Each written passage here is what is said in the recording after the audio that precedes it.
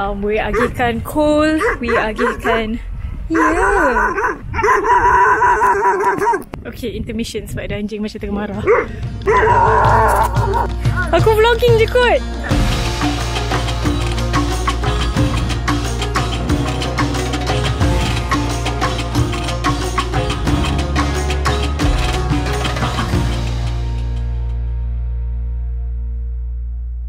It's been a full day of traveling. We left the hotel at 4.30am. Our flight was at 10. And now we finally reached our last destination.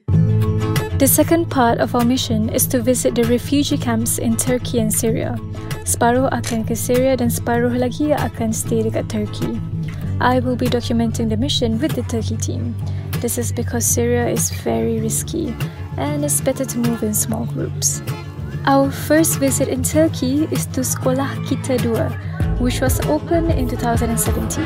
There's about 350 Syrian students here, and they learn mostly Islamic studies and get their education in the Syrian language. Here today, we're giving winter coats to the students.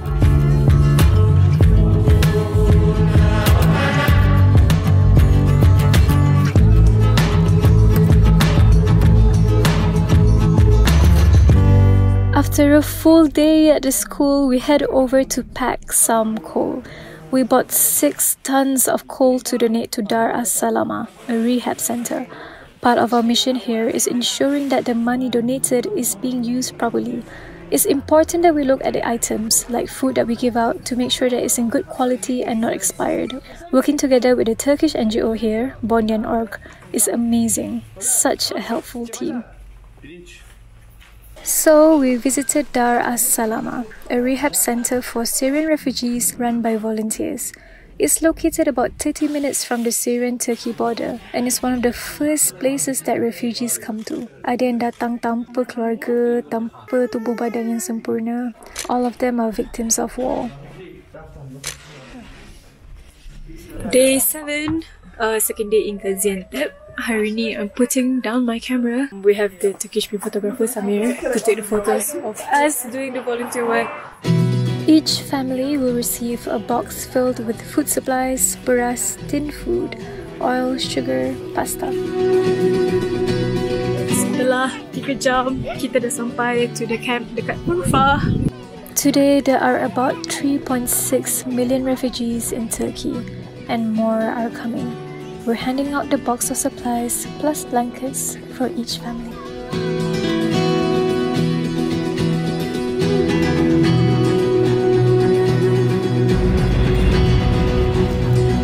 Yay! Khalas! Alhamdulillah! 250 families. At each camp, after distributing, we try to spend a bit more time visiting the homes and playing with the children.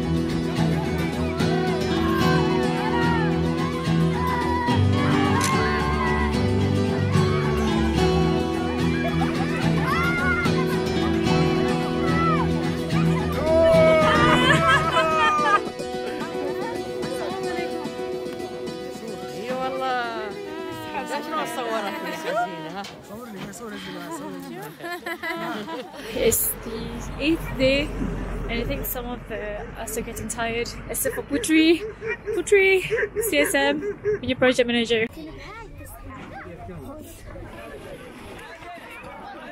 Dia ada orang jatuh, so dia orang tengah kutip untuk simpan. Hari ni kita bagi empat empat bekas untuk satu keluarga. That's enough to last for the winter. So every little bit counts. Just to give you an overview of the situation. This is the house. This is the toilet. Bismillah. I'm going to show you around. We're at village area in Sanliurfa.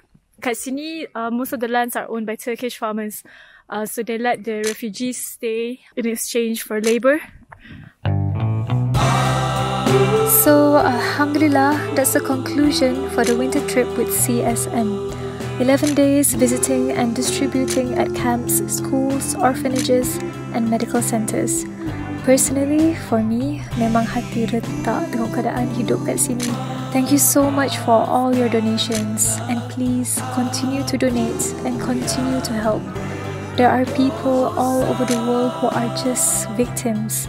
As I'm talking to you, more people are being displaced by war. And if we're able to, we must help.